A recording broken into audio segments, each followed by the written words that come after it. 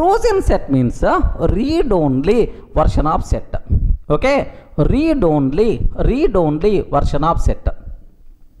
Read only version of set sir. So for the set uh, which is freezed uh, which you are not going to perform any modifications such type of freezed set is nothing but frozen set sir.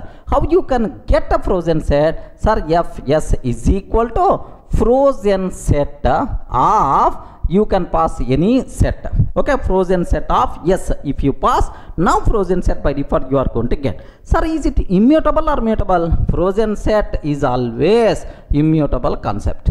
Getting? Frozen set is always immutable. Order will be preserved or not? No such type of terminology because it is internally set sir next uh, indexing such type of terminology not applicable. Duplicates are not allowed in the frozen set because internally it is the set only remember. Are you getting right? So set frozen set. What the difference? Set is mutable frozen set is immutable. Except that all the remaining are same. What is the difference between list and tuple? List is mutable tuple is immutable. Remember that